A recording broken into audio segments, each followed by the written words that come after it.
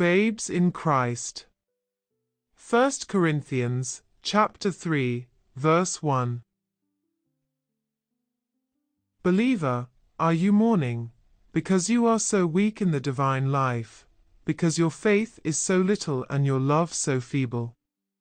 If so, cheer up, for you have cause for gratitude. Remember that in some things you are equal to the greatest and most full grown Christian. You are as much bought with the precious blood of Christ as he is.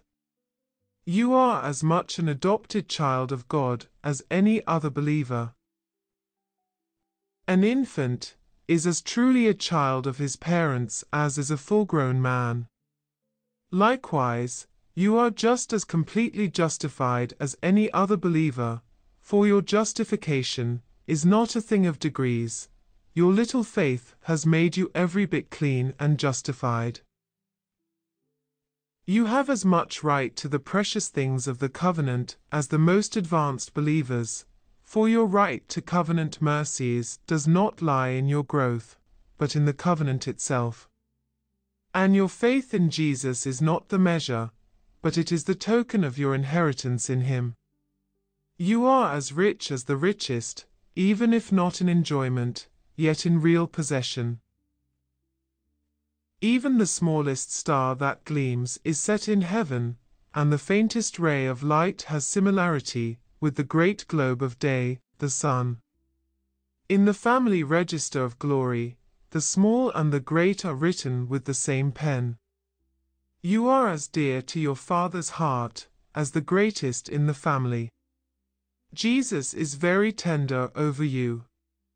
You are like the smoking flax, and a rougher spirit would say, Put out that smoking flax, it fills the room with an offensive odor, but the smoking flax he will not quench. You are like a bruised reed, and any less tender hand than that of the chief musician would tread upon you or throw you away, but he will never break the bruised reed.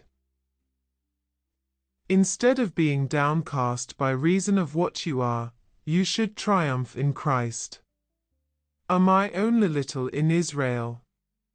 Yet, in Christ, I am made to sit in heavenly places. Am I poor in faith? Still, in Jesus, I am heir of all things.